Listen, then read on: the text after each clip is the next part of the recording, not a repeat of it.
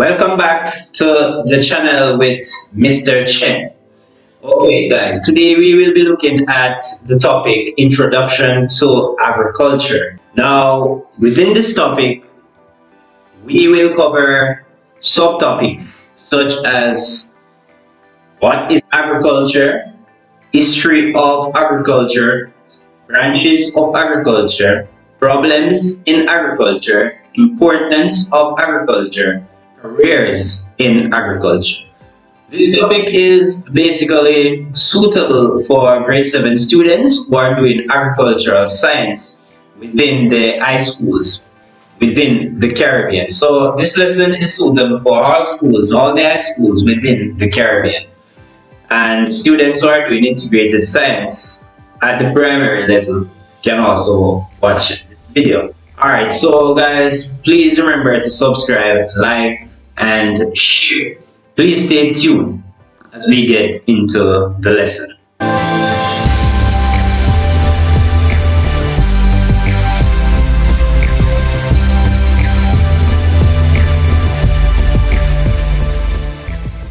Now, so let us get into the definition of agriculture. Agriculture involves the rearing of animals and the growing of plants and other life forms, fungi, etc., to satisfy human needs and wants through the use of scientific knowledge and principles. So in other words, as you can see, the definition outlines that agriculture basically deals with plants and animals, all right? and agriculture is practiced to satisfy the needs of humans. And the third component of the definition is that it involves the use of scientific knowledge and principles. So, as you can relate, agriculture involves the use of a lot of advanced technology. So, for example, your automated greenhouses, your automated poultry houses that use um, computers. You were talking about your hydroponic systems that is controlled by a pump system, etc.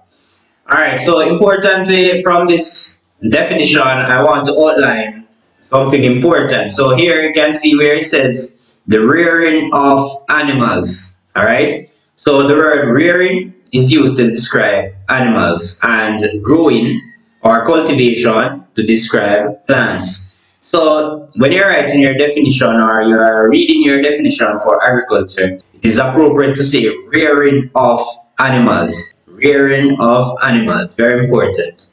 And for your crops, we say growing of crops or cultivation of crops. Alright, so let's move on. Alright, so key point. Agriculture is a man-made activity. So this is very important for you to know. It is created by man. So agriculture is intentionally created by human beings. And remember that that is done to satisfy their needs. Alright, so let us get into the history of agriculture. So it has an history and we're going to look briefly on the history. Alright, so before we get into the history, there's also another part of the definition of agriculture. So agriculture is broken up into two parts. So the part that says agri comes from the Latin word agrarius, meaning of the land. So the term agri in Latin means agrarius and it means of the land. Alright, and the term culture, it comes from the word cultura, which means to cultivate. So the, so the word agriculture was defined by the Greeks a long time ago. Alright, so we're going to get, let's get into the history now. Alright, so the history of agriculture. Agriculture was started in the year 2000 BC by the Greeks. Before modern agriculture, there were one, hunter-gatherers. Two, nomadic herdsmen. Three, domestication of animals. Four, shifting cultivation. And five, settled agriculture, which was primitive at the time. Alright, so now we are experiencing modern agriculture, or I should say we are practicing modern agriculture. But before agriculture became modern or primitive, there are also ways in which humans used to feed themselves. And some of these ways are one, as we said, the hunter-gatherer. Alright, so the hunter would go in search for animals for meat, and the gatherers would basically collect wild fruits. Nomadic herdsmen, those are people who would normally follow the animals around. They would not have any settled home. They would just follow their animals around and ensure that they secure their food when they want food. Alright, domestication of animals, that's where uh, people started to settle in a home and they used to keep animals at home, for example, sheep. Shifting cultivation is when persons used to plant crops. However, they used to use the land for say for three years and then when that land became infertile they moved to another area to cultivate the land. They would not apply fertilizer back in the days. All right what we have with modern agriculture. Now we use a lot of fertilizers to improve the fertility of our land and also to plow the land to increase that fertility as well so in modern agriculture now we practice a lot of um, ways in which we can maintain the fertility of the soil. Back in the days, they did not. And they'd use like um, slash and burn method to clear their land. So they would burn a lot of their land that would normally destroy the fertility of the soil and the organic matter of the soil. Alright, for settled agriculture, they started settled agriculture and it was primitive. Their tools were not as advanced as we have now. And as you know, settled agriculture is where a person started to have their farm and they rear their animals, etc. Alright, so let us look at the differences between primitive agriculture and modern agriculture. On the slide here, I have three main differences. So number one, for the primitive, you have there are simple tools. So simple tools were used such as stones, sticks, bow and arrow, wood spear etc. Alright? So the tools are very simple. In modern agriculture, the tools that are used now, they are advanced, such as computers, tractors, engines, plows. Alright, for number two, for the primitive agriculture, they used to practice um, subsistence farming. So this is where the farmers would just produce enough for their family to eat. For the modern agriculture, they normally we normally practice um, mass production and commercial farming. Right, this involves the producing of a large amount of crops for sale and agro-processing. Alright. Um, for primitive, for number three, some crops that were produced back in the days were corn, cassava, and they would domesticate. Uh, now, we have a wide variety of crops that are produced in large amounts, but I'm just I just gave three of them, which, is, which are rice, banana, wheat, etc. Alright, so those are basically the main differences between the two types of agriculture. Alright, so let us move to branches of agriculture. Here, as you can see here, branches of agriculture means that agriculture is divided into different sections or subsections. So here we have six branches of agriculture. So they don't come in any specific order. Alright, so we could say could start with any one of them. So agriculture economics, agriculture engineering, animal science, horticulture, agronomy, fishery. So we have six branches of agriculture now. Alright, that we are required to know. Alright, so branches of agriculture there are six main branches of agriculture, as I said. Well, here we have number one, agronomy. And agronomy is the study of the soil and how it influences uh, plant growth. Number two, horticulture, the study and care of plants used for beautification or decoration. So persons who are in flowers farming, they they are, are actually practicing horticulture. So those persons who cultivate um, or propagate flowering plants. There are hibiscuses, bougainvilleas, etc. They are in the horticulture field or section. Uh, animal science, study of animals and animal care. agriculture engineering, the study of farm machinery. So care of the the tools, the learning of the types of engines, all those areas would fall under agriculture engineering. Agriculture economics, the study of the business side of agriculture. Alright, so those persons who are studying marketing of goods, studying profit and sales, etc. Those would normally farm under agriculture economics. Fishery, the study and practice of raising and harvesting of fish. Alright, so those are basically what we have for the branches of agriculture. Please remember to study them and also know them, know their definitions. Importance of agriculture. Number one, so we are going to look at the benefits of agriculture here. What are good things about agriculture? Alright? As we know, it has a number of benefits. That's why it is practiced um, over the years. 2000 years now. Okay?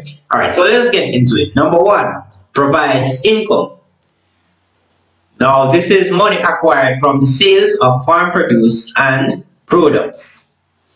Number two, provides jobs. Agricultural activities provide employment, for example, farm manager, machine operator, etc.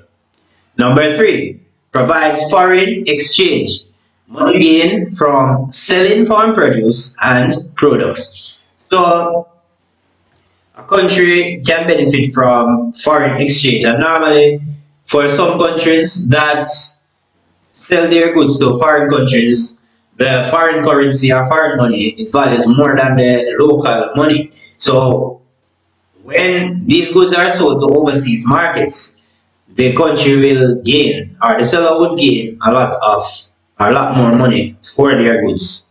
Number four, animals are used as pets for many individuals. Of course, a lot of you can relate. Some of you have dogs, cats, etc. for pets. Number five, for leisure. For example, horseback riding, sports, hiking, etc. So leisure here means uh, for fun. You enjoy, gives enjoyment. Alright? Number six, for food, clothing, and shelter. And many of us can relate to that one very easily. Alright? Number seven, the creation of medicine. So for example, you know that marijuana is used to produce Asmasol, which is used um, for asthma. Asmasol is very good for asthma. It is used to treat also glaucoma of the eyes so that persons can see better. Alright, so plants are used for their medicine. Alright, so those are some importance of agriculture. Alright, so let's move on. Problems faced in agriculture. Alright, so even though we want to go into agriculture and it has so many benefits, we cannot do without it. There are, there are actually challenges that are faced in agriculture and you are required to know some of those challenges. So let's start with number one, predial larceny. Now, predial larceny, this is a stealing of agricultural produce. Alright, so like, that is one main problem. Um, if persons are stealing from you or from your farm, it can discourage you because they might be stealing your produce and what will happen? The money that was spent to start that business, you will not gain back that money because thieves would normally take away your produce so you cannot gain, an income. Alright, number two, poor infrastructure development such as roads, water supply systems, etc. So of course that affects agriculture in a very large way. So your infrastructures would be your physical structures, right? Like your roads, as we said. All right, as you know, agriculture cannot practice without water supply. And if you're going to do commercial farming, for example, it would be very tedious if you have to carry those weight on your on your head. All right, so you need vehicles to help alleviate some of those challenges and make the work easy for you or make transportation easier. Alright, so infrastructure development is very essential to the success of agriculture. Number three, lack of collaterals or securities. to be qualified for a loan.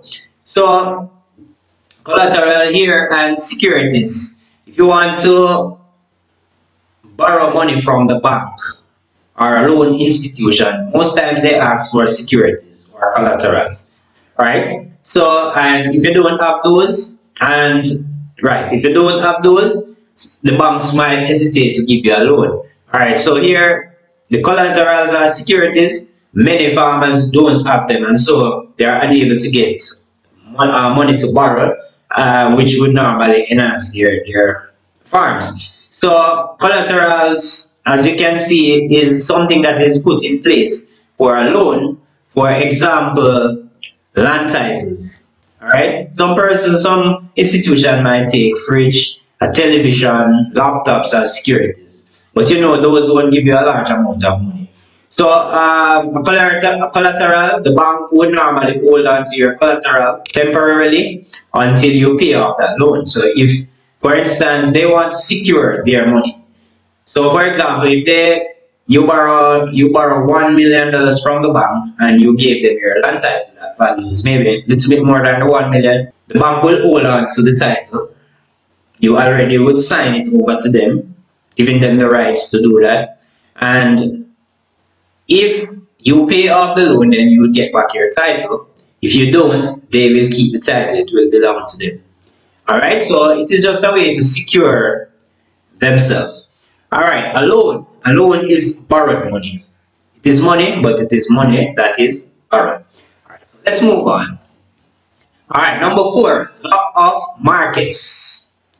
So the fourth problem here is lack of market. Now, a market is anywhere produce our products are sold. For example, online. Example, Amazon, Alibaba, etc.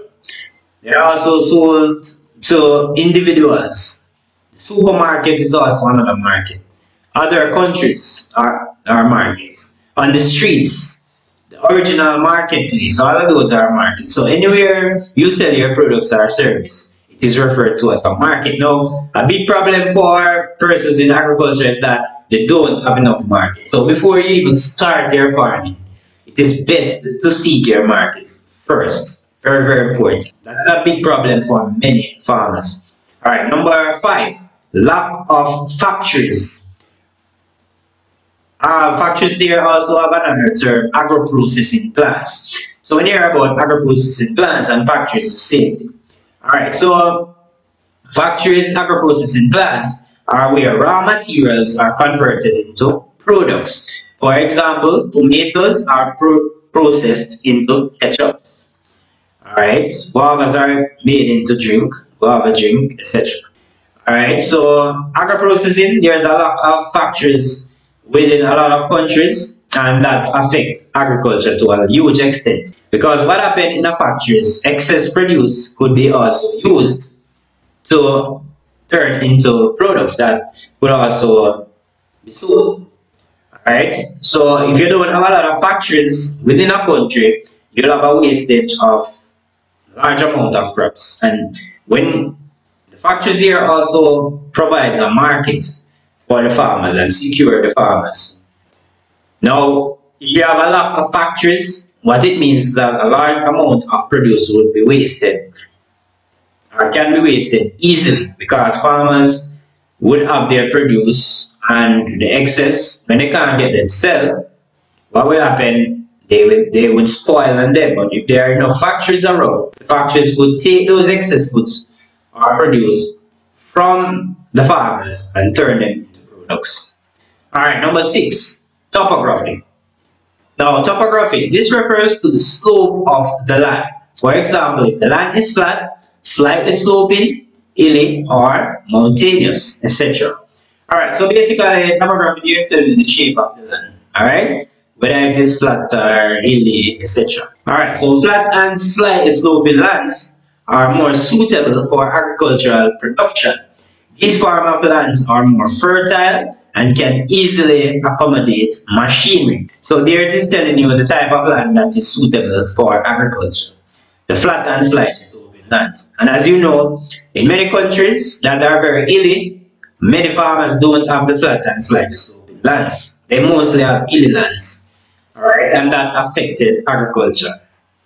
Alright, in these ways, that it affected it in this way. It is more expensive to farm an hilly and mountainous lands. So many persons who have hilly lands, it is very expensive to farm on those lands, especially if they're going into um, commercial farming. They would be affected greatly. Alright, so let us get into careers of agriculture. Of course, agriculture is a viable option. It has a lot of jobs, a lot of subsectors. So let us get into detail with some of these subsectors and the jobs. Some of them, it's just some I'm giving you. So number one, you have the sales area, the sales category. Now, some jobs are careers there. You have like salesperson and machineries, chemicals, feeds, etc. Like your farm stores and those, for example. Number two, marketing. All right, with this category, you have the marketing specialist, advertising analyst, agency marketing officers, etc. Number three, production. So this is the one that most persons are used to. It's farming. Alright, so that's the production category. And that's just one category of the career list or choices. You have apiarist, aquaculture farmer, dairy farmer, vegetable farmer, etc. Alright, number four, education. You have, for example, teacher, nutritionist, nutritionists, extension officers, etc. So those are just a few. Number five, agro-processing. Alright, so that's where we're talking about now, the factories. In that area, you have preserved fruits and condiments producers, food processors, etc. Number six, journalism. Within this category, there are careers such as advertising analyst, agriculture journalist, agricultural features writer, etc. And number seven, engineering. So under that category, we have careers such as agriculture engineer, engineering technician, etc. Alright, so we are at the summary of the lesson. So those we basically completed the main topics. So let us get into the summary very quickly. First point, agriculture is a man-made activity and it is practiced to satisfy the needs and wants of man. So remember that agriculture is created 2000 in the year 2000 BC by the Greeks. Alright, and in that time agriculture was primitive and now it is advanced. And you are required to remember the differences between the primitive agriculture and the modern agriculture. So there are differences that are related to the technologies used, the level of farming, right? So subsistence farming versus um, the commercial farming. That's what we mean when we said level of farming. All right, the type of produce that were cultivated, etc. All right, so let us move to the second point. Agriculture involves the use of advanced technology and scientific studies such as computers, machinery, genetic engineering, etc. Alright, so agriculture is advanced. Alright, you need to know that agriculture is advanced and um, it is not primitive anymore. It is a viable option. Alright, so yeah, it is very, very technological. Alright, guys, so you can get into this field Agriculture is a viable option, very important field. Number three, agriculture has a number of subsectors or branches, all right? Namely agronomy, which is the study of soil and plant growth, right? So all plants grow and relate to the soil, like all plants take up nutrients. So you study the type of soils, rocks, types of nutrients in the soil. All those topics would come under agronomy. All right, you have animal science, agricultural engineering, agriculture business, agriculture, horticulture, sorry, and then fishery. All right, very, very important to know those branches. All right, next point. Agriculture offers a lot of job opportunities from a variety of categories such as sales, production, agro-processing, education, that students can explore and be successful in life. Alright guys, so remember agriculture is a viable option It has many, many more careers. Try them out. Very important. Agriculture is vital. All country depends on agriculture. Without agriculture, we would, we would not have the settled way of life, guys. It is very, very important and, and it involves a lot of technology. You can go in and develop some new technology for agriculture. to develop fertilizers, chemicals, sprays, new varieties, new GMO foods, etc. Go into the field, very important. Agriculture creates, next, agriculture creates stability and development of communities by providing a number of benefits such as food, raw materials, jobs, income, etc. And last but not least, there are problems in agriculture that individuals should be aware of, such as predial larceny, lack of water supply system, lack of good agricultural lands, incomes, etc. that are important for successful agricultural activities. Alright, so even though there are benefits of agriculture, you will have to face challenges. So it's important that when you are putting your plans together, you consider these challenges and put systems in place to deal with these challenges. Alright guys, so we are now to the end of the lesson and I hope you will you learn a lot and also remember this lesson has all the notes you need so you can take your time and pause your videos and write off your notes I'll always produce, provide videos like these where you get explanations audio and also you can take your notes it is on the channel so you can access these notes anytime you have service so get automatic updates of videos by clicking the subscribe button and the bell icon. So it's very important guys to subscribe to the channel and not only but hit the bell icon. Very important is that the bell icon has three options. Ensure you select the all option. So you'll see different options when you hit the bell. Select the bell and then select the all option. In this way, if you do not select all the all option you will not receive all videos so remember you want to receive all the videos because I'll be posting videos right through the year all the videos you need for your classes from 7 to 11 from grade 7 students to grade 11 alright so remember to tell a friend or two about the channel thank you for watching. See you in the next